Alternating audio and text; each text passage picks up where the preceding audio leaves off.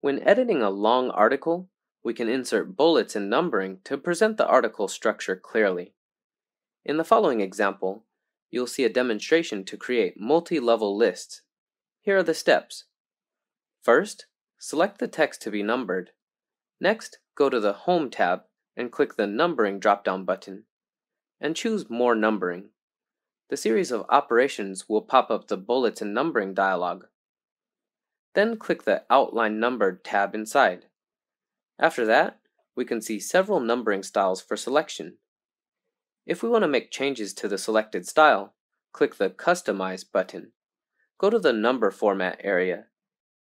In this area, the Level area on the left shows different levels of heading. Here, Level 1 refers to the first level heading, while Level 2 refers to the second level heading. In addition, we can select from the number style. The items within the number format category refer to the default styles. For example, 1 refers to level 1 numbering. We can add symbols or characters in front of and behind the numbering. Here we enter the parentheses. Go to Start At to set the start number. We can also go to Font to change the font effect.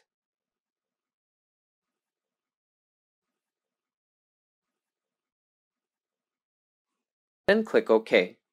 But since there is no level 1 numbering in this document, the content we just selected was numbered in level 1 by default. How can we change it to level 2 numbering? Place the cursor at the beginning of the text. Press Tab to change the style into heading 2. Press Shift Tab on the keyboard to return to the upper level numbering. Here's another example, from which we've found two problems.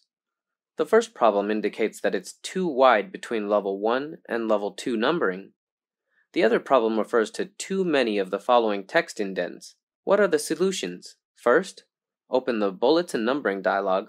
Next, go to the Custom List tab and click Customize to pop up another dialog. Third, choose Level 2 in the Level category and click More. Then we can access the settings of the number position and text position.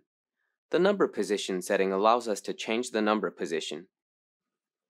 Here we set the numbering to be aligned at 0.5. We can also change the distance between numbering and text content. Go to the text position area and set it as 0.8. When we finish the settings, click OK. The rest of this video will introduce some tips on bullets and numbering.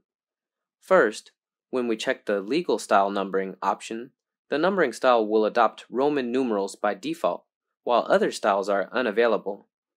Second, go to the Link Level to Style category, where we can link the specific styles to the corresponding level of numbering.